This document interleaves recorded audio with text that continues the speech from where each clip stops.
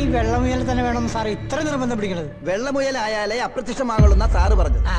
മനുഷ്യരാണെങ്കിലും വെള്ളവസ്ത്രം ധരിച്ചാലേ invisible ആകുള്ളൂ എന്നാണ് സാറിന്റെ കണ്ടുപിടുത്തം. ഈ ഇൻവിസിബിൾ എന്ന് പറഞ്ഞാൽ എന്താ? എടാ അത് തന്നെയാണ് അപ്രത്യക്ഷം.